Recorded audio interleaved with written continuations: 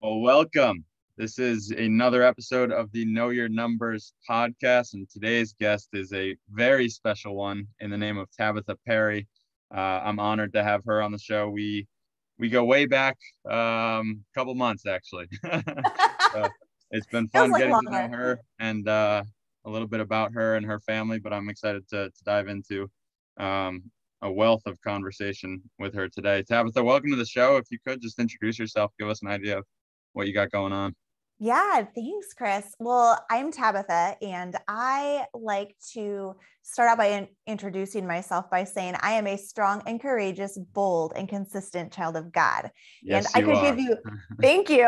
I could give you all the labels of I'm a wife, a mom, an mm-hmm. entrepreneur, all those things. But I really feel like describing myself and who I feel like I am at the core is the best way to go about it. But I have my own life coaching business and I work with women to help them figure out how to make small edits in their life so they get big results so they can turn their chaos into an orderly life.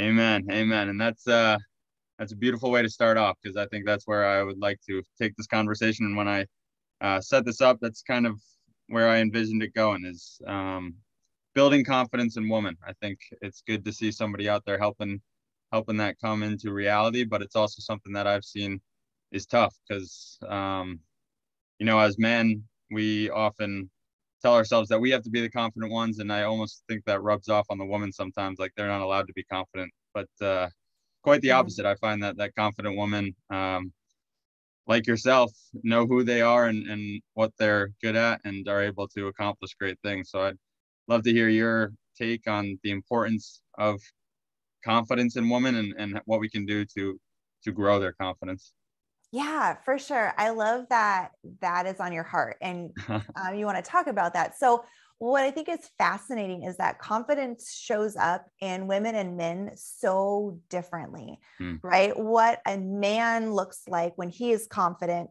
feeling confident, is so different than what a woman looks like when she is confident. And even we can, on the reverse side, say when someone looks like they're confident, but they don't actually feel like it, right? Yep yeah. And I feel like for women, we just maybe wear our emotions on our sleeves more. So you just mm-hmm. know when we're not confident. But I think that there's a lot of men out there that aren't as confident as they project. And that's like a really heavy load to carry. Yeah. You know, trying to act like you're more confident than you are when when it's okay not to know everything. Mm-hmm. Amen. And what would you say um, a unconfident male does to a, a female? You know, like in in a relationship how can a male who's not confident although he portrays it be a detriment to the woman that's in that relationship? I, I see that quite often i think. Yeah so a lot of times when a man isn't confident he's very insecure. Mm-hmm. and what insecure people do is that they like to tear other people down to get them as at the same level that they are.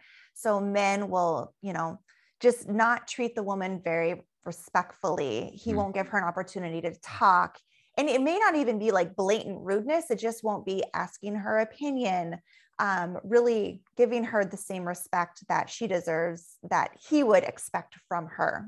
Yeah it's awesome tabatha and i, I just to give the audience a, an idea of how you've gained all this knowledge I, I mean some of it comes from life experience but you do also have uh, quite a few certificates and degrees so i'd love to touch upon a little bit of back your background too so people can know where you're coming from yeah, absolutely. So I have my bachelor's in criminal justice and mm-hmm. a minor in psychology and a master's in um, social work.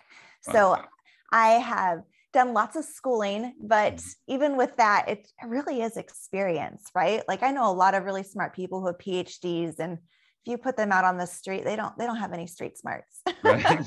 any street smarts. Yeah. Um, but those are some of the things that I just I absolutely love to learn. And so I continue now. Like I love to read multiple books a month, listen to podcasts, all of the things, just trying to continue to build my confidence as yep. a woman. And um, it's like a muscle, like you have to keep cultivating it and developing it. And so that way, um, you just have to kind of keep pushing through and, mm-hmm. and learning. So I have a good foundation for learning and loving people well. And that is what I really enjoy doing. Amen. Yes, you do, and uh, it shows every time I'm in the room with you and uh, your husband Stephen. It's it's all it's all out there. Love just radiates, so it's awesome. Mm-hmm. Awesome to see, and you're also instilling it in your two girls, uh, Liberty and Lily, who I had the pleasure of meeting, and they're uh, a light in in everyone's life as well. So they are, um, and they um, loved hanging out with you. it was good. It was good. Although Stephen probably wished I had some makeup on myself after the end of it, but uh, I'm glad. He that, was kind of hoping you would have had the yeah. nail polish and the hair and ponytails. Yeah. Yep. Yeah. Luckily, I have some experience. My I have sisters growing up, so I have, I know I know how to say no when I need to. So luckily, I did not did not end up with any uh, makeup on. But um, I I would love to dive into uh, family and relationships and, and kind of the idea of money in those relationships because um, through discussions with people and just my research and my understanding money is is a great resource to have but it can also be um, a weapon that can be used against you you know? It, it's the leading one of the leading causes of divorce and and why relationships falter. So for somebody that that has such a great uh, loving relationship and a great marriage i, I would love to uh, hear your take on how you can have that conversation around money and, and anything that somebody who might be looking to to get in a relationship. We have some young listeners, um, but they know that there's some importance of getting your your money mindset right before uh, getting into relationship with someone else. yeah, no, that's so good. So when my husband Stephen and I got together, I am like very conservative, right? And I grew up where there was um, you save for retirement, you put it in your like 401k, and maybe you have some annuities. Um, and then you have a savings account, and that's where you put all of your money, and that is what your emergency is, right? Yep. So that to me is just what everybody did. Well, meeting Stephen, who's in finance, like yeah. that is not his world. And there are so many options and products you can use to like utilize your money and get more interest on it. So I'm going to be honest, it has taken us years for yeah. us to get on the same page and we still are not. But right. the thing is, is we continue to have open communication about it. So mm-hmm. it was really important for me when we first got married to have a savings account and that drove him crazy because we could use that same amount of money in the savings account and put it into a life insurance policy yep. and get way more interest on it and have it for longer term. But it just did not compute to me. So the most loving thing that he could have done is help me by doing the savings account yeah. and giving that to me and continue to like teach me about what some of the other things could do. So my suggestion for those that are, you know, navigating marriage or, you know, dating or mm-hmm. wanting to date and like the money talk is just from the very beginning, mm-hmm. like ask what their expectations are of money. Like how do you use money? How do your parents use money? Yeah. And don't try to change the other person, like mm-hmm. accept them for where they're at and give them time to learn. I had to see that what Stephen was doing was stable because I'm gonna be yeah. honest, when we got together, I actually had more money in the bank than he did. Come on, that's what I'm talking about. Right, right. I I helped pay off a lot of things for him, but wow. he had the better job and he just needed help with not buying snow machines and you know all the things a 24 year old does yeah. when you make a lot of money yeah. and so we got to come together as a team and i helped him figure out like what was more important to spend money on yeah. and then he also helped me to figure out how other ways that we can save that weren't the typical way that i was raised with wow that's so good and i think that the biggest takeaway is something you said earlier there is it's kind of a work in progress and it still is but it's awesome to see that that from where you started to where you're at now is is uh remarkable. I feel like as humans we just want it want it all right away and we want the, the perfect plan laid out but to understand that you're gonna it's a journey as with everything relationships more than more than anything arguably but um, money plays into a lot of it and to, to know that there's a way of of talking it out and having that conversation is inspiring. So um, and thank you for being so open about that. I, I do know that's something that I want to touch upon really is like, how can we grow um, the conversation around money? Because a lot of people aren't willing to share um, for whatever reason, lack of confidence. Maybe they're embarrassed. They don't, they, they feel like they don't know enough. So how can we as a society um, and also just as community of people that we hang out with change the way that we look at money and discuss money and and invest money i guess. Yeah. Well i think it's this multi like layer problem. And so really when you peel back the layers is that a lot of times we so associate money with our identity. Mm-hmm. and that if we make a lot then that means that we're valuable. Right. and now granted there is a certain amount of money that is exchanged for value but who i am as a person it does not is not determined by how much money i make or how much money my husband makes mm-hmm. and that is just kind of the root of it i think is the insecurity, right? right. When I'm yep. going back to that theme that people are afraid to talk about it because number one, we don't have practice either. Yeah. Like it takes practice talking about things.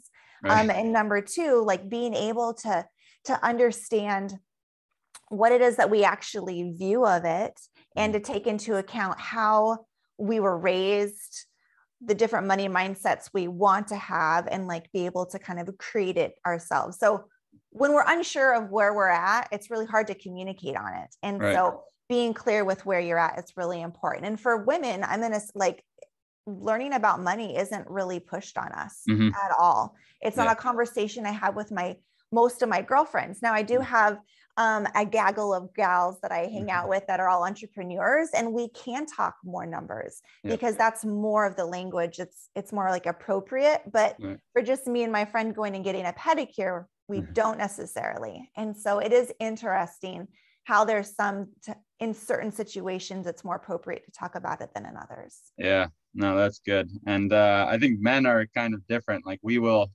talk about money and and how we can make money and how we can make more money and all these things. Um, whereas women are like, it doesn't matter too terribly much. Let's just have some fun. But at the end of the day, it also does matter. So we'll have the conversations when we need to. And I guess that's that's a good thing about women. They keep us uh, structured and accountable. We we can come up with crazy ideas, but uh, if they're not mm-hmm. working and they're not paying the bills, then they're not worth very much. So it's awesome. And Tabatha, you, you mentioned the importance of of knowing yourself and and who you are and the values. And when you came on, you introduced yourself with your personal contract. I'd love to hear a little bit about that. How you came to know who you were, what worked for you, um, what you can use to um, describe yourself and, and how it changes the way you carry yourself since you've kind of grown into that? Yeah.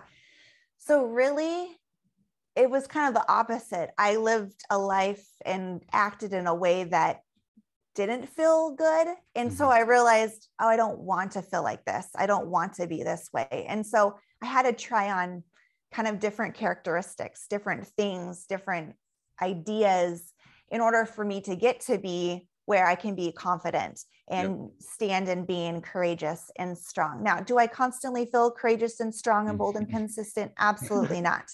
No, but that's the reason I have the self contract is because right. I want to step into that and I want to continuously um, stretch myself to do that. So I, um, there were times in my life that I was not standing in integrity with myself, that I was mm. making choices of partying and having boyfriends I shouldn't and doing all those things where I, I wasn't being like stepping into the potential that God had for me. And I felt off in my spirit. There was a discontentment.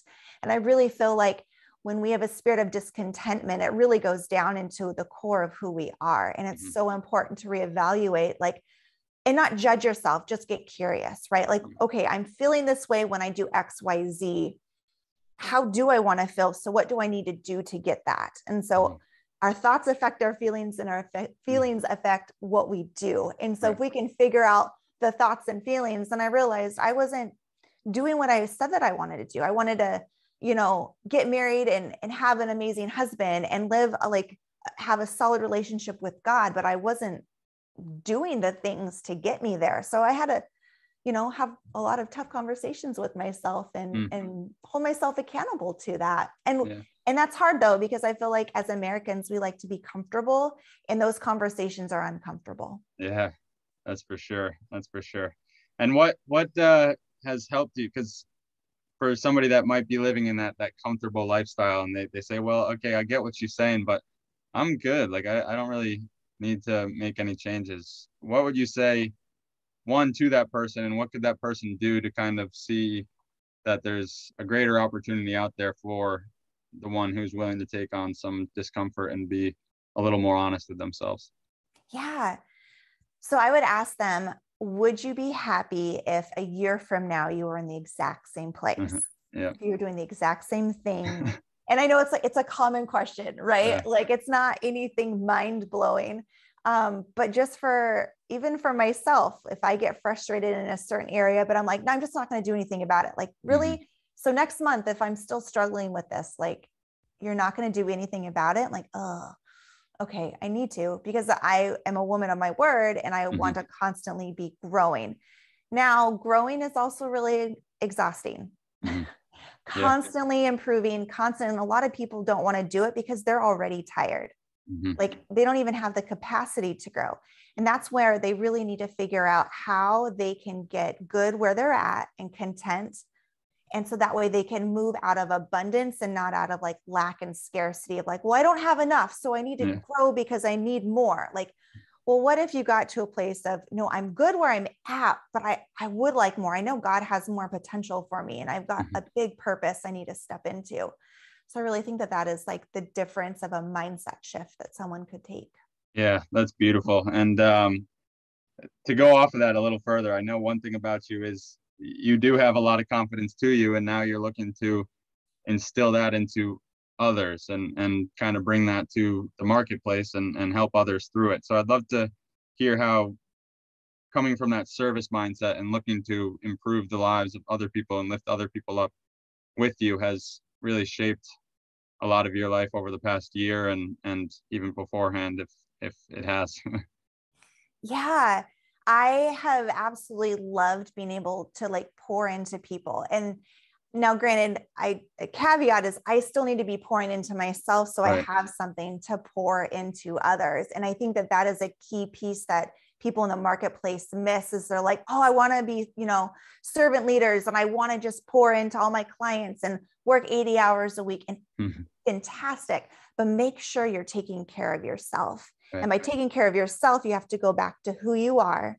Mm-hmm. And to know who you are, you have to know whose you are. Wow. And so being able to kind of come full circle is really important. That's so good. That's so good. And and by whose you are, I do believe you mean the uh, Most High our loving Father. Um, and with that being said, I'd love to talk a little bit about faith and um, your faith journey a little bit because um, I know everybody's got a different story. I also think that um, some women out there might have some faith, but they're not willing to be open about it, or, or they've struggled with it, or they don't know where it lies. So, Tabatha, for you, how is how has your faith evolved over your lifetime and, and where does it stand right now? How important is it to you?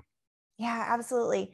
So I accepted Jesus into my heart when I was 10. And I did that because I was lonely. I was the only mm-hmm. child. My parents were divorced. I was lonely. And I learned about this Jesus guy who loved me and who'd be with me no matter what. Yep. He would never abandon me and he'd be my friend. Hmm. And that inspired me. And I'm like, I want that. And I knew that I couldn't do things on my own. Even at 10, I was kind of a perfectionist and wanted to do things well all the time and knew that I couldn't. And so, again, knowing Jesus's love and knowing that he would forgive me was so, so important. So I was really involved in my church. I led um, in high school, I led like the middle schoolers. I did all of the church things. Well, then at 15, 16 years old, um, a man came into my life that was much older and unfortunately mm-hmm. took advantage of me. And wow. so that rocked my faith. Mm-hmm. And I really questioned who I was, um, what had happened to me, and um, was confused because I was able to, in my mind at that time, make what had happened part of um, it was a relationship. Yep. And so I remember reading through my journals even at that point and there was god weaved throughout that like god why do i feel this way? Why why does he treat me this way? Like I, I was seeking god and i knew that he loved me but i was really just so so like unsure of what was going on. So fast forward i go through college. I still love jesus but not really mm-hmm. involved in the church very much. I move away And I finally start getting into church because I am at the lowest of the low. I am partying, I'm dating guys, I'm mm-hmm. working in a prison, which was such a phenomenal experience, but it was a very dark time. And yeah. most people there were not Christians. I was, there was just nothing nothing and nobody pouring into me and i was mm-hmm. just depleted and i remember asking god like god i'm going to go on a guy fast i'm not going to date anyone i'm not going to do anything it's just going to be you and me i can't do it anymore and literally within a week my now husband reached out to me and was like hey it was this very you know classy facebook message of like hey you're hot oh. or something something real great like that. Well done. Well done, Stephen. right, right. But what God showed me through Stephen was a pure, unadulterated love that I had never experienced before. I always assumed men wanted something from me, whether it was spiritually, physically, mentally, emotionally. Yeah. And Stephen just wanted to love me. And wow. God knew that I needed like someone on earth to show me that love.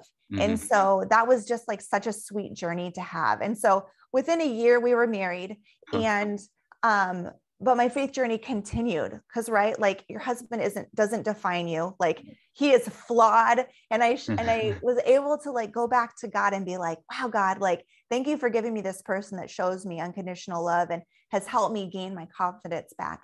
Um but god you you're my stability. You're my safety net. Like you're my man like mm-hmm. the audience of one. And so um we moved a lot and it it was really lonely moving mm-hmm. and it kind of came back to that first feeling that i had right when i accepted christ was like god i'm really lonely.